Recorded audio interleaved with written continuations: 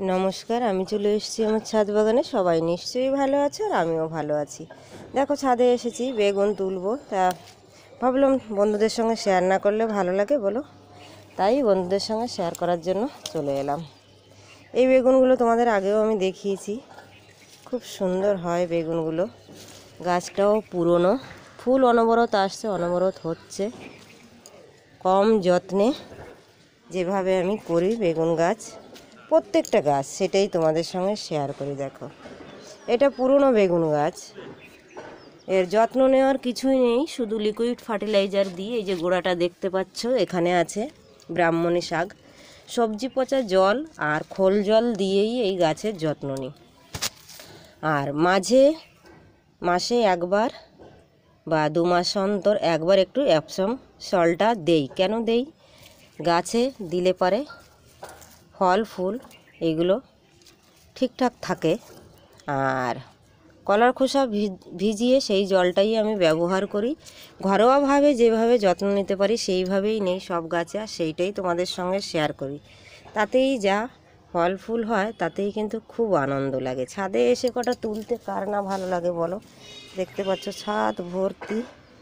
এই যে শীতের শাক তো ভালোই হয়েছে। মূলো শাকটা থেকে শুরু করে সব শাকই ভালো হয়েছে, সেগুলোও তোমাদের দেখাই।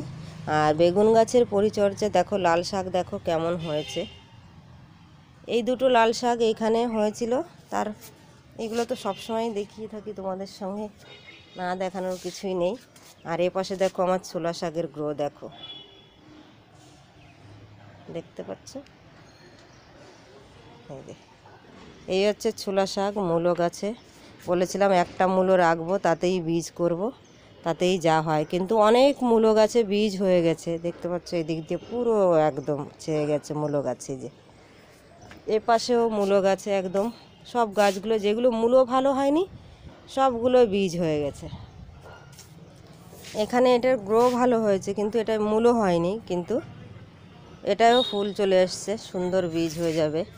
এ পাশেও দেখো বেগুন গাছ এগুলো সব পুরনো বেগুন গাছ। এগুলো। আর এখানে আছে যে নতুন বেগুন গাছ, সেটা গ্রো দেখো কালারও দেখো, দারুণ লাগছে। এই যে দেখো। ফুল এসে গেছে, কি বেগুন হবে জানি না। এটাও বসিয়েছি বস্তায়।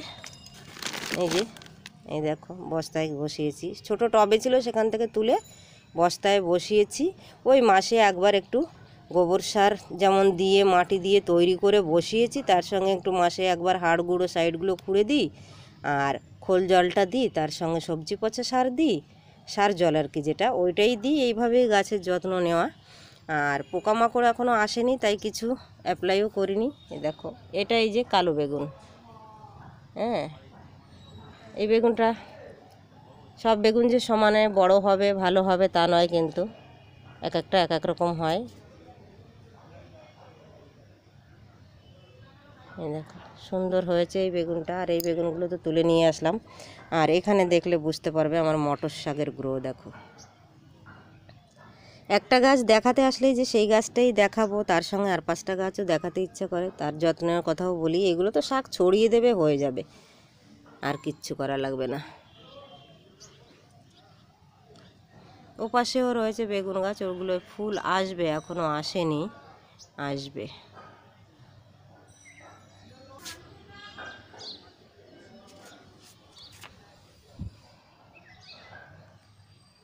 লঙ্কা গাছেও বেশ লঙ্কা এসছে। রেগুলারই গাছের লঙ্কা তুলে খাই। পেকেও যাচ্ছে, দেখো। তুলি না। পাকা লঙ্কাও দেখতে ভালো লাগে, ওপাশেও দেখো লঙ্কা যে পেকে গেছে। ওই গাছটা তো প্রচুর লঙ্কা পেকেছে। আর এই দেখো, এখানে যে বেগুন গাছটা দেখতে পাচ্ছ। এখানে একটা পুরনো বেগুন গাছ আছে, কেটে দিয়েছিলাম। তাতেও দেখো, এই যে ফুল এসে গেছে, এটা পুরনো বেগুন গাছ। এতেও ফুল আসেনি এখনও এইটা এইটা নতুন বেগুন গাছ আছে এখানে বোধহয়, এটা না, এটা পুরনো বেগুন গাছ। কেটে দেওয়ার পরে অসংখ্য কুড়ি এসছে এই যে।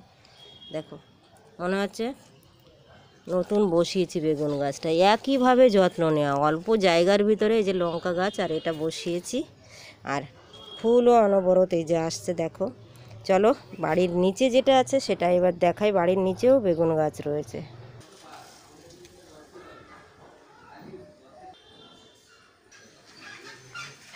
দেখো বেগুন গাছ, কত বড় হয়েছে। ফুলও বেশ সুন্দর এসছে, এটা থোকা বেগুন। একসঙ্গে তিনটে, চারটে করে এই বেগুনগুলো আসে। থোকায় হয়, তারও বেশি হয়।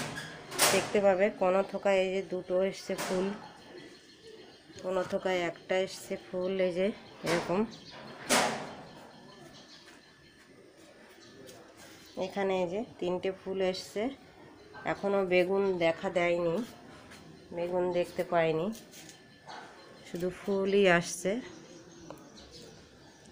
আর ওটা একটা গাছ, দেখো ওর গোড়াটা দেখাই। এটা বাড়ির এই যে যে ড্রেন মতন করেছি আমি, সেখানেই করেছি। সাইডগুলো খুঁড়ে নিয়ে একটু গোবর, দুমুঠো গোবর সারে গাছ খুব ভালো হয়। কেননা এইখানে তো একবারে ড্রেনে মাটি তৈরি করে বসিয়েছি, সাইডগুলো খুঁড়ে নিয়ে, তারপরে একটু গোবর সারটা সাইডগুলো দিয়ে বা একটু হাড়গুঁড়ো দিলে যথেষ্ট পরিমাণে গাছ জৈবভাবেই হয়।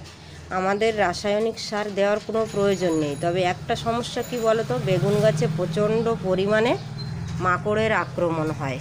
খুব। বেগুন গাছের নিচে বসে আছি, বিশাল বড় হয়েছে বেগুন গাছটা। আর তার পাশে রয়েছে আর একটা বেগুন গাছ।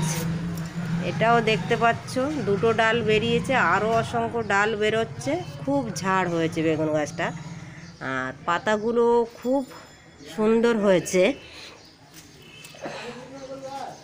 যে কোনো গাছ যদি দেখতে সুন্দর হয়, ফল কম হলেও মনে হয় মনটা ভরে যায়।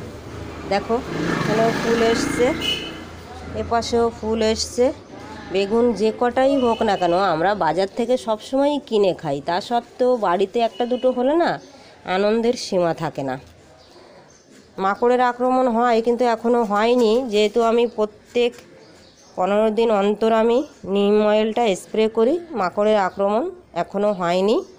এভাবেই রয়েছে। এবার মাকড়ের আক্রমণ হলে পারে গাছ বাঁচানো মুশকিল। তার থেকে আমি এমনি কিছুই ব্যবহার করি না। শুধু নিম অয়েলটাই ব্যবহার করি, কিন্তু মাকড় এখনও আসেনি। যখন অ্যাপ্লাই করব, তোমাদের সঙ্গে অবশ্যই শেয়ার করব যে মাকড় আসলে কি অ্যাপ্লাই করতে পারো। কেননা যেহেতু আসেনি এখনও পর্যন্ত আমি কোনো গাছেই মাকড়ের জন্য কোনো কিছুই অ্যাপ্লাই করি না। এই নর্মালভাবেই ছাদে আমার আগেরও ভিডিও তোমরা দেখে থাকবে, প্রচুর প্রচুর পরিমাণে বেগুন, সবজি হয়েছে সব কিছুই নিম অয়েলের পরেই নির্ভর করে আমি গাছ তৈরি করি। দেখতে পাচ্ছ, পাঁচিলের ওইটুকু বাকি। হ্যাঁ চার পাঁচ আঙুল বাকি বাদ বাকিটা এত বড় হয়েছে গাছ। পাঁচিলটা কিন্তু আমার খুব উঁচু পাঁচিল এখানে। এই ছিল বেগুন গাছ নিয়ে কথা। ফল যখন আসবে তখন অবশ্যই তোমাদের সঙ্গে শেয়ার করব। কেমন লাগল ভিডিওটা? অবশ্যই কমেন্ট করে জানাবে আর অবশ্যই সবাই নর্মালভাবে গাছ লাগাও। যথেষ্ট পরিমাণে গাছ হবে, ভালো হবে। বাড়ির থেকে কিছু সবজি তো আমরা খেতে পারব অনবরত। এই গাছ আবার দেখো আমি বছরে ছাদে যেগুলো দেখিয়েছি, কেটে কেটে রাখি, কেটে রেখে আবার সেই নতুন বড় গাছের মতন সুন্দর গাছ হয়ে যায় কেটে রাখলে। তার থেকে আবার সুন্দর বেগুন হয়। এক বছর, দেড় বছর এই বেগুন গাছে অল্টারনেট করে বেগুন খেতে পারবে। কিচ্ছু হবে না গাছ। শুধু গাছের বেগুন শেষ হলে ডালগুলো কেটে দেবে, তাহলেই দেখবে খুব সুন্দর বেগুন হবে। এইভাবেই গাছের ডাল কেটে কেটে আমি প্রত্যেকটা সময় ছাদেও রাখি। মাটিও পাল্টে দিই এইভাবে, শুধু গোবর সার আর মাটির সঙ্গে মাটির সঙ্গে গোবর সারটা মিশিয়ে আর মাসে একবার হাড় গুঁড়ো দেবে, ব্যাস। তাতেই তোমার গাছ খুব সুন্দর হবে। তাহলে এখানেই রাখছি। সবাই ভালো থেকো সুস্থ থেকো।